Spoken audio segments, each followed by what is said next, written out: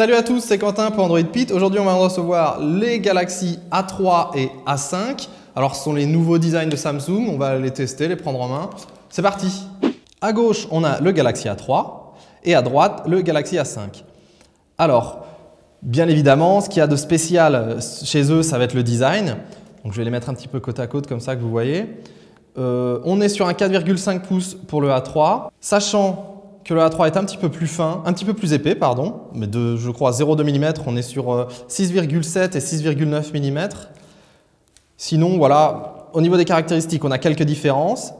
Donc Snapdragon 410 pour les deux, mais 1,5 Go de RAM pour le A3, 2 Go de RAM pour le A5. Côté écran, la même technologie, Super AMOLED. Chez Samsung, euh, c'est très habituel, donc on a des très très belles couleurs. Ce qu'il faut signifier, c'est que sur le A3, on a une définition de 960 par 540, ce qui nous donne 245 pixels par pouce. Sur le A5, on a une définition un peu mieux, donc du HD de 1280 par 720. Pour un milieu de gamme, disons que ça passe. Et euh, en gros, je ne sais pas si vous pouvez bien voir ici, on est un petit peu moins pixelisé que sur un écran comme sur celui du A3 qui est vraiment plus dans l'entrée de gamme.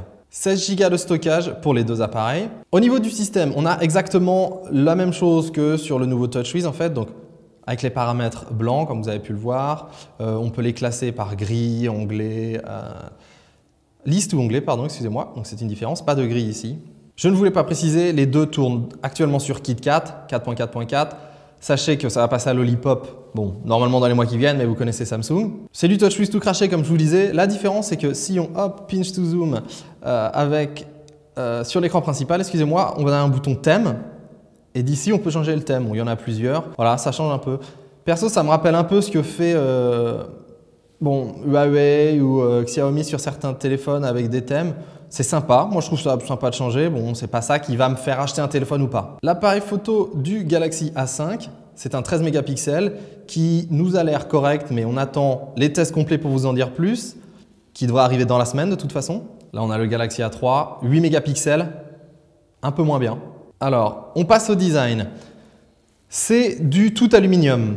Reste que le dos, comme vous pouvez le voir, je l'espère en tout cas, ne semble il fait un petit peu entre le plastique et l'aluminium. Bon, c'est très agréable à prendre en main, ça ne glisse pas, euh, c'est pas collant, quoi que ce soit. Moi, je trouve ça très bien, c'est mieux que les anciens Samsung.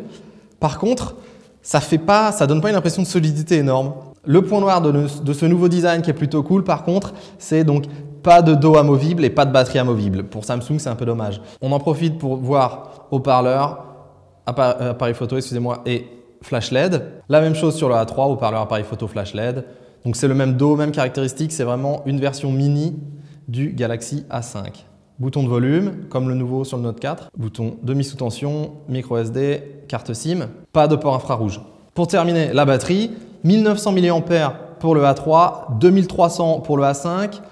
C'est pas énorme pour le A3, sachant que bon, il est un peu plus petit, euh, mais il a le même processeur qui n'est pas très gourmand, un K110 a priori. On attend de voir, mais ça ne promet rien de particulier, ni dans le bon sens comme dans le mauvais sens. Pour conclure, le A3, qui est au prix constructeur de 299 euros, paraît un peu cher au vu de ses caractéristiques. Bon, certes, il est beau, mais euh, il a des caractéristiques qui sont en dessous des anciens fleurons Samsung pour un prix supérieur. Le A5 est mieux, il a 399 euros, c'est quand même 100 euros de plus. Il semble quand même offrir un meilleur rapport qualité-prix, sachant qu'il faut garder à l'esprit que ces deux smartphones sont plutôt chers pour ce qu'ils offrent en caractéristiques. Voilà, suivez-nous sur Facebook, Google+, Twitter, YouTube et sur le ASS. Salut